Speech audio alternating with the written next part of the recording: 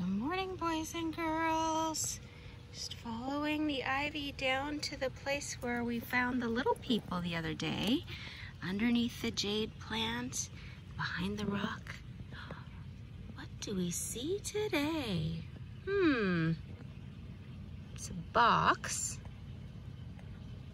box, and it looks like, ooh, I don't want to disturb this, but it looks like this big box has some patterns on it. I don't know what they're doing here, but it definitely looks like they're being creative. Now, I'm saying they. Do you notice this? I see one, two pairs of flip-flops. And I see one, two orange juices.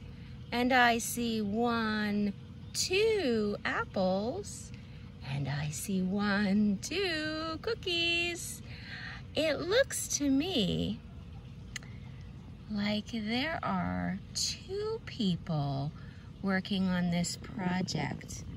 I'm not sure what the project is, but it looks like friends are working on it together.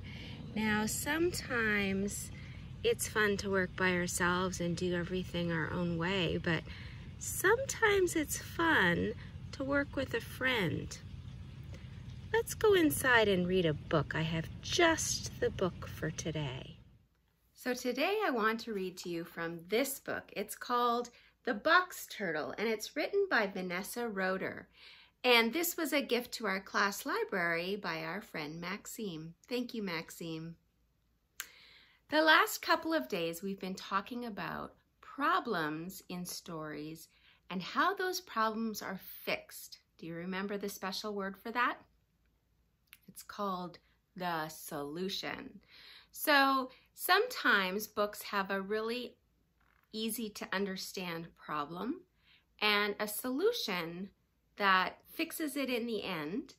And sometimes a story has a bunch of little problems. This is one of those books that has more than one problem.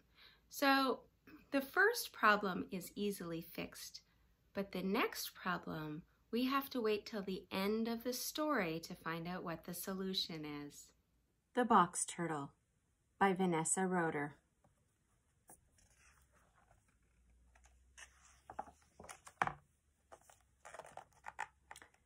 When the little box turtle hatched, his parents noticed something missing. Oh me, oh my. But they weren't dismayed.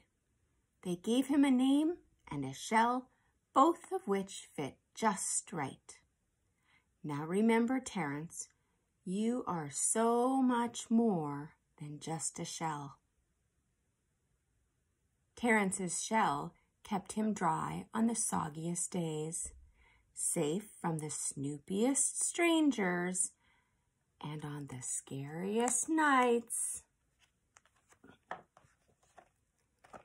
It was big enough to share. Terence loved his shell until one day. Your shell is weird,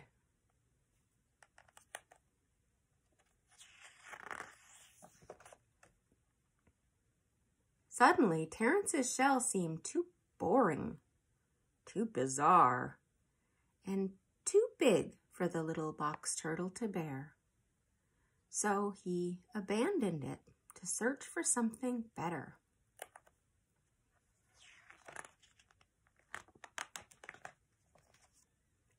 Terence searched high and low until his new shell looked sleek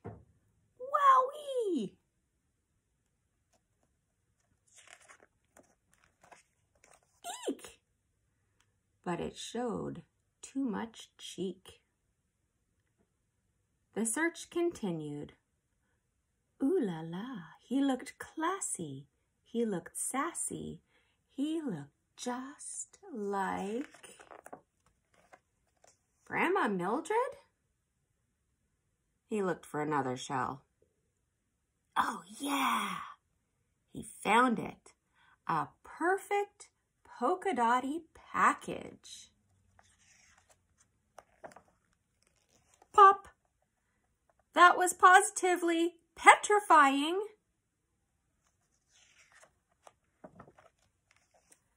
Terence tried shell, boom, boom, boom, boom. After shell, hey! After shell. After shell, ar, ar. But nothing fit. This whole situation stunk a lot. That's it. I give up. Scuttle, scuttle. Here you go.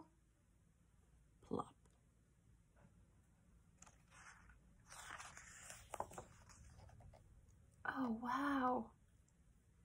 In that moment, the hermit crab showed what it meant to be a friend.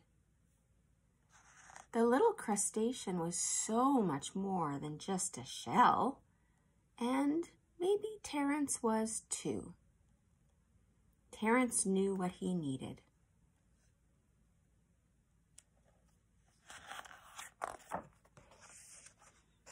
But when he found his old shell, oh no, it had changed.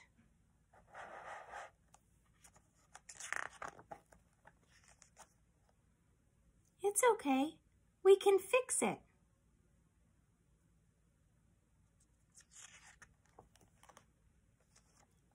Terence patched on soggy days.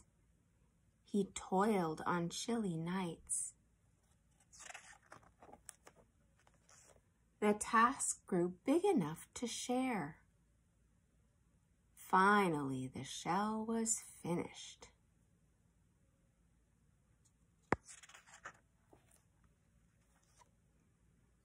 It wasn't sleek or sassy. It was far from perfect and definitely weird. But Terence wasn't dismayed because this little box turtle was so much more than just his shell.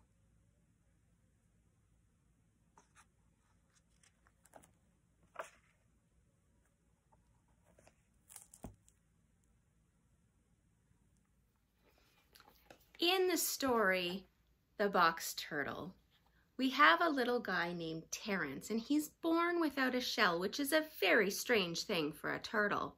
Is that the problem? Well, it is a problem, but it's got a very easy solution. His parents don't mind one little bit, and they solve the problem on his first day with a box that they find. And Terence is just fine with that box and it's not really much of a problem for him until some other bigger turtles make fun of him and he gets very sad. He wants to go find a different shell that makes him look more like them. I think the big problem in this story is that Terence doesn't want the shell that he was given. He wants to be like everybody else. And he realizes at the end with his with the help of his little friend hermit crab what kind of shell he really really needs. And guess what? What kind of shell is that? It's the one he had. The solution is to go back and just be okay with what he had. And you know, at the very end, we see a picture of him with two of his friends. One is the little crab. His shell is the bandage box. And Terence has the fixed up box that his friends helped him with. And then the raccoon has that hat from earlier in the story, the Grandma Mildred hat, which is just kind of silly. I hope you enjoyed The Box Turtle by Vanessa Roeder.